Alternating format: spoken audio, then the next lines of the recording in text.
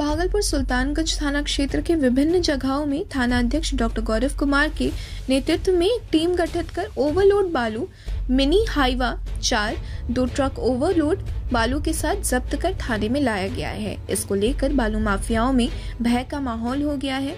इस दौरान थाना अध्यक्ष डॉक्टर गौरव कुमार ने बताया कि एस ड्राइव के तहत ओवरलोड छह बालू गाड़ियों को जब्त कर लिया गया है और अवैध बालू लोड करने वाले बालू माफियाओं को बख्शा नहीं जाएगा। इस दौरान थाना एएसआई अशोक कुमार सहित थाना के कई पुलिस जवान मौजूद थे।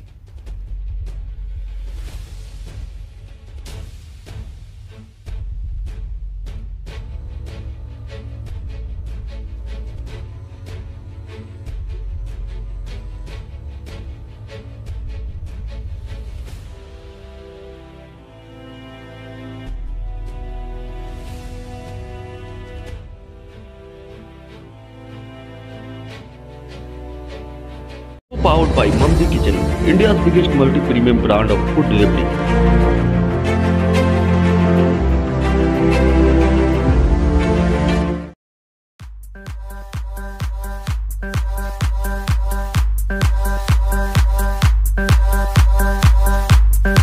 Sri Event, a complete event planner.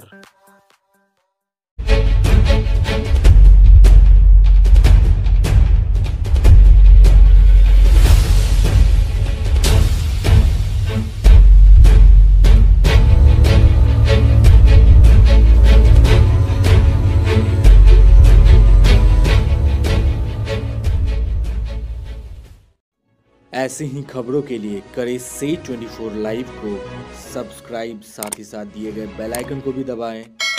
Thank you